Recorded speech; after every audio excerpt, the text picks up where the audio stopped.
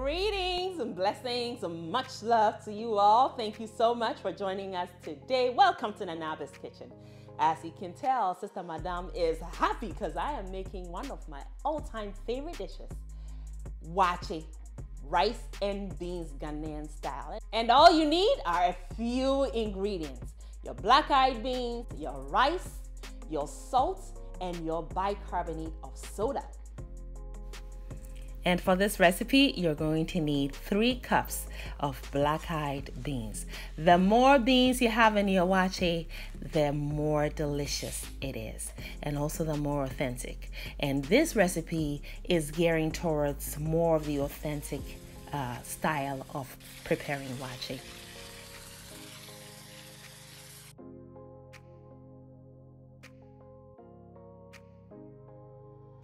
So far, we have soaked the beans for just two hours so that we are able to soften the beans and also it helps to get rid of that gassiness you get from eating beans. And we wash the beans, put the beans into the pot we're going to be cooking the waakye in, and then we added some water. And the water must be a lot because you have to keep in mind the rice will be joining the pot very soon. Next, we added some bicarbonate of soda. And what this is, is actually an alternative ingredient to the local ingredient we use in Ghana, known as kanwe, kanwa, or akao. And what akao is really is a base. It's an alkaline foundation. So it's going to help soften the beans and also neutralize the acidity in that environment. The bicarbonate of soda is also going to bring us that brownish, authentic waakye color and taste too. Now, we have set the beans on the stove at medium heat until cooked to where the beans are mashable, but not too soft, al dente perfection. This is exactly how mashable you want the beans to be, and this is exactly the right time to also introduce the rice. And the broth from the beans has the perfect color as well. This is what's going to color the entire waakye in the end. So let's wash some rice. And you'll need three cups of jasmine rice, preferable or any long grain rice that has a good or significant amount of starchy content because you want your waakye to cook not fluffy but rather soft and have an easy nature to Friends, it. so our beans are ready. Rice have been washed, so now we're going to combine both components.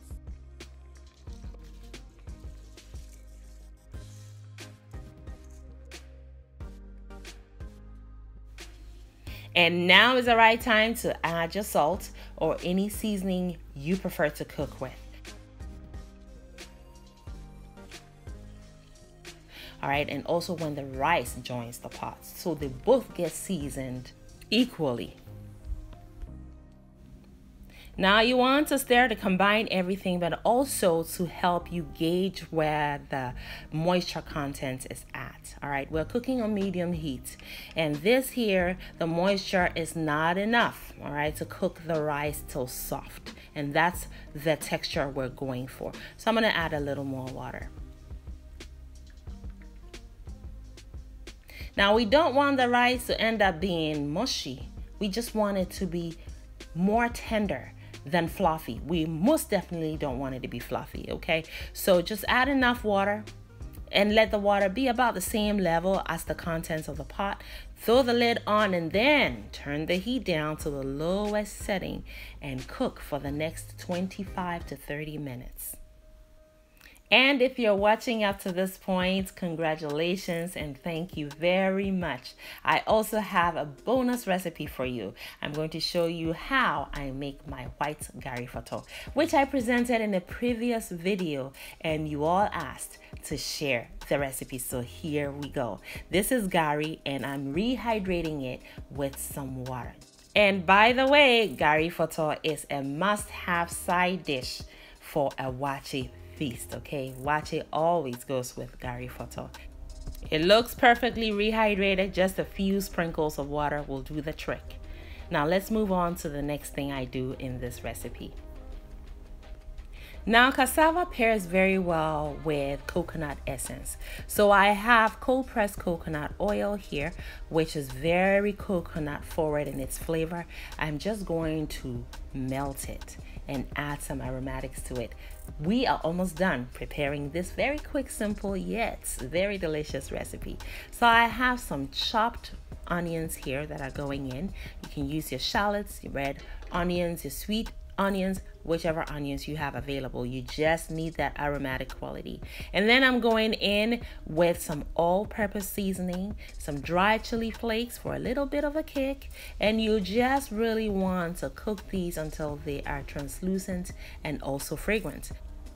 Now you also need a little bit of vegetable or chicken bouillon in here. That's going to bring us that lovely savory taste that is quite complimentary in this recipe. Now I'm also throwing in some scallions which I have roughly chopped. Turn the heat off once everything is heated through and also is fragrant. And then go in with your rehydrated gari and start mixing it all together to combine. Yes, friends, this is as simple as it gets with my white Gari Foto recipe.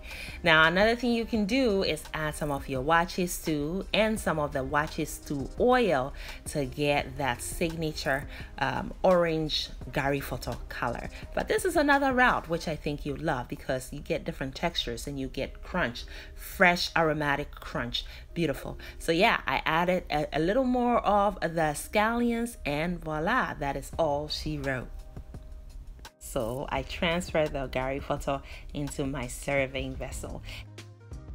And then check on the waakye, which has been cooking for 30 minutes. My timer just went off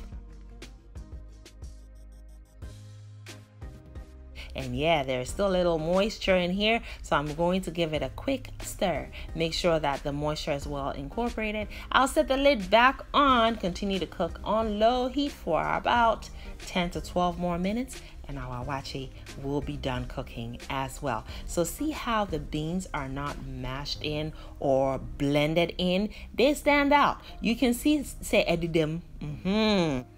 Yep, so you see the rice and then you see the beans. Okay, so you know you're eating rice and beans. That's basically what I'm trying to say here. So although it is soft in texture, not fluffy, you can still tell there's rice and there's beans. Now here is my shito, Nanaaba's Kitchen shito.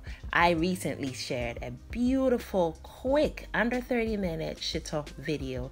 You must check out that recipe. It is linked below and you can also look for Nanaaba's Kitchen shito. You'll find several different shito recipes, including vegan. Now here is my rice vermicelli noodles, which is representing the Talia portion of this feast perfection. And also the waakye stew. I recently made some chicken waakye stew or chicken stew with some eggs in it. And so yeah, we're gonna use that. And I also have my salad. The waakye is ready and as authentic as it gets with no sorghum or waakye leaves. And yet look at that color. Very reminiscent of the waakye sold by the uh, street vendors Yes, they don't use the waakye leaves. They just go with the kanwa and they get this perfect color. Friends, I hope that you have learned a thing or two. This waakye is so delicious and meaty tasting. Mm. And it's quick and easy to put together, right? You don't need your sorghum leaves all the time. So if you do not have sorghum leaves, you can still cook waakye that looks as beautiful as this. And of course, I had some waakye packaging leaves. These were sent to me by Chloe B. All right, I have recently shared Chloe B's link, um, her IG link, in my community post. So if you're interested in getting these leaves or her other products, make sure you check her out. She will send you some of these leaves. I didn't get them here in the United States because they are nowhere to be found here. So yeah, we have some Talia, we have some Waakye, we also have some Gari Foto, and here is the chicken Waakye stew. Mmm. Mm. And of course, you need your ego. and you see how that chicken leg quarter beautifully cradled that egg. perfection. And you need some more of the stew. And certainly do not forget your shito. It isn't waakye without the shito. And here comes some salad as well. Yeah, that beautiful fresh crunch and that guilt free experience. A little salad on the side offers that much needed cooling sensation because waakye can have a kick to it. Make it a great day, friends and family, and have fun, especially in that kitchen. Thank you, beautiful person, for watching the video all the way to the end. Kindly leave me a comment and subscribe down below. And don't forget to share the video as well. Also, watch more videos. It is chop time, and here in Anaba's kitchen, chop time is always yes, friends. So pull up a chair. We are all friends and family here.